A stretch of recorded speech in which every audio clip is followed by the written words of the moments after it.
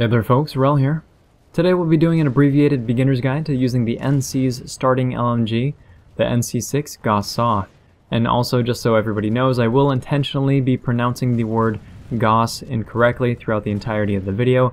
I believe it's actually pronounced Gauss. The reason for this guide in particular is because as far as starting weapons go, the Gauss Saw is probably the most difficult to use starting weapon in the entire game. This is why newer players tend to hate the thing with an extreme passion, while more experienced players tend to refer to it as the God Saw, and that's due to it being one of the most powerful and potentially accurate infantry weapons in the game. By comparison, most starting weapons are extremely easy to use because they're pretty well rounded. They're decent at pretty much everything right out of the box, and the same could probably be said for the Gauss Saw, except that it doesn't really hit upon its true potential until it's decked out in attachments. So if you're having a hard time using this weapon, do not feel bad, because we're going to give you some guidance on how to make it effective. That said, it deals 200 damage per bullet within 10 meters and drops off to 167 damage at 85 meters. This makes the Gauss Saw the hardest hitting LMG in the game, able to drop enemies in 5 shots to the chest within 10 meters or 6 shots at max distance. In addition to being the hardest hitting weapon in the game, it also has the highest kill potential of any starting weapon in the game due to its 100 round magazine, which in a best case scenario means that you can drop 20 enemies start to finish without reloading. So those are the upsides, but here's where the problems really begin. In addition to the highest damage per bullet, the Gauss Saw also has the slowest rate of fire at 500 rounds per minute. It has the longest reload time in the game at 6.5 seconds short and 7.5 seconds long, and for those who don't know, a short reload is triggered when you still have at least one round left in the weapon, and a long reload is triggered when your weapon runs completely dry. So short reloads are obviously quicker than long reloads, but how much will vary from weapon to weapon.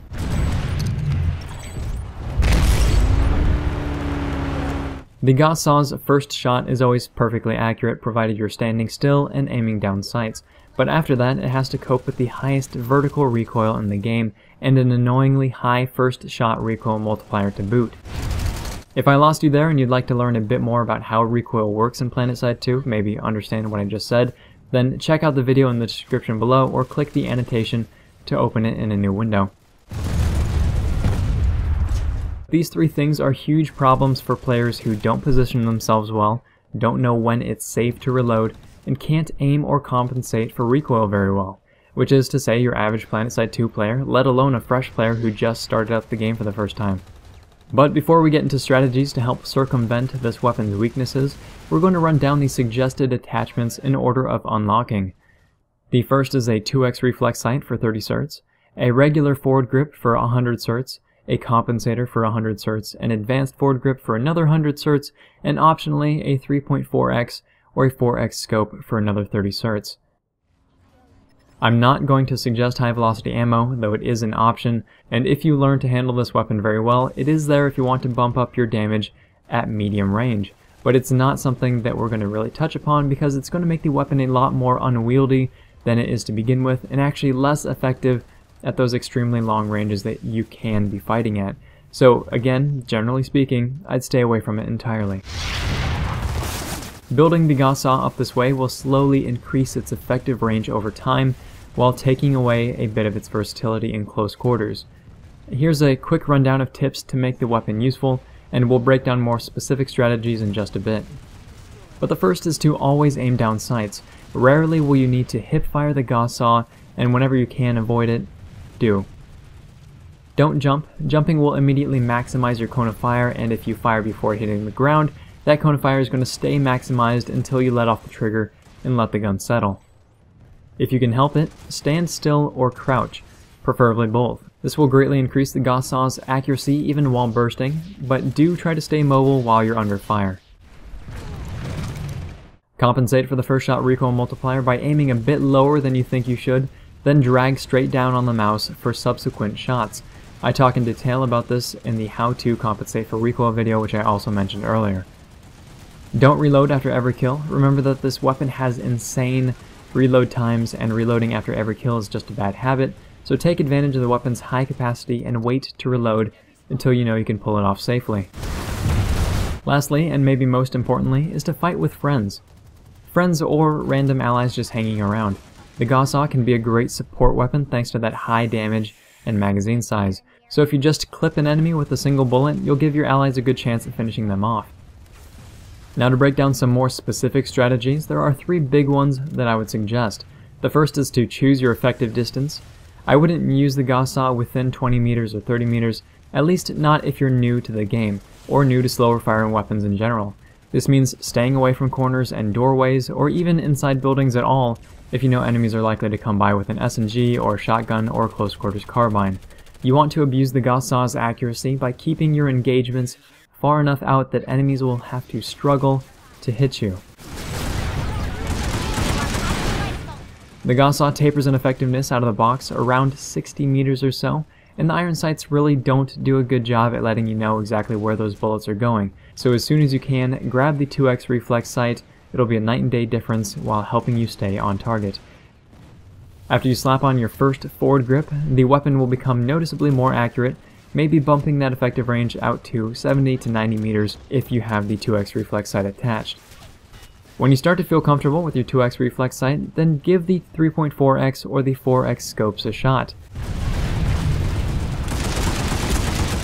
I suggest using the ones that have crosshairs instead of the ones with a red dot sight, and actually I'm going to annotate the name because I can't remember it off the top of my head, but it'll make it a lot easier to stay on target.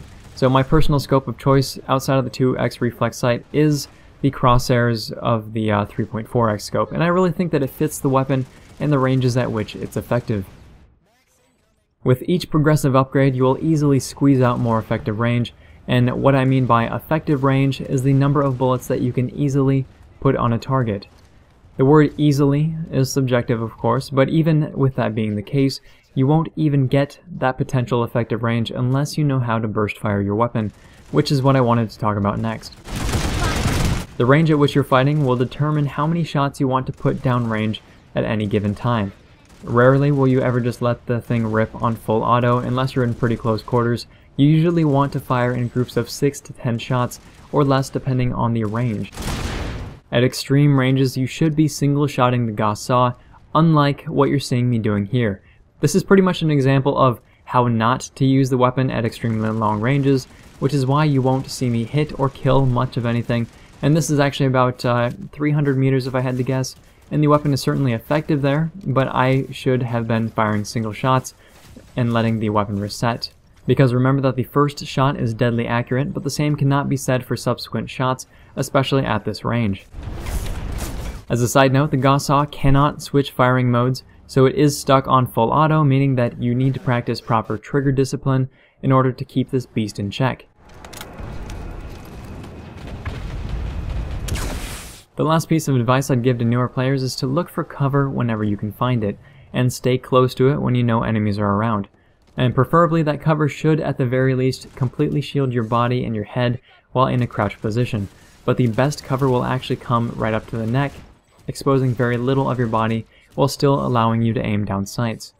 This sounds obvious, but hard-hitting weapons, regardless of the rate of fire, can make the most use out of cover for a couple of reasons.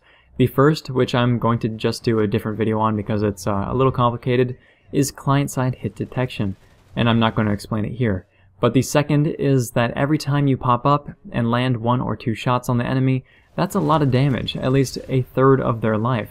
So if you crouch back down and shield yourself from their return fire, they have to make at least one of two decisions. They can either retreat, advance, or I guess they could stay there. But if they do stay where they are, unable to fire on you, then they're going to die the next time you decide to poke your head out.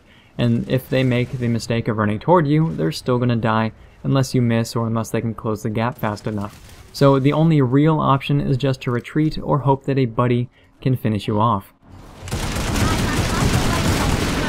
And to sum that up for you real quick again, stick near cover as often as possible. Peek out, fire off a few shots, then get back into cover.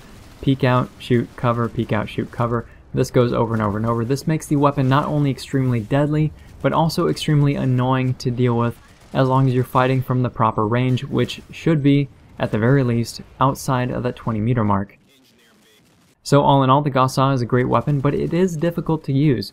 Hopefully this will help you get started using the weapon effectively if you're a new player, but even if you don't play NC, a lot of this information can cross over to any slow-firing, hard-hitting weapon like the Terran Republic's TMG-50 or the Vanu Sovereign's Ursa. As a side note, if I had my way, I wouldn't actually give the Gauss Saw to the heavy assaults by default. It's the only weapon in the game that falls so far outside what a newer, low-aim player finds easy to use, and I understand wanting to emphasize faction traits, but the Gauss Saw goes to extremes. A more suitable starting weapon would probably be the EM6, or most fittingly, the Gauss Saw S, which would likely have to be renamed. But, if you found this video interesting, helpful, or entertaining, please feel free to like, subscribe, and tell your friends about the channel. And whether you're an experienced player or not, please let me know your experiences with the Gauss Saw. Do you agree? Do you disagree? What helpful tips would you provide to newer players? Please put a comment below, or drop a video response if you're really feeling fancy. Thanks very much, folks. Wrel signing off.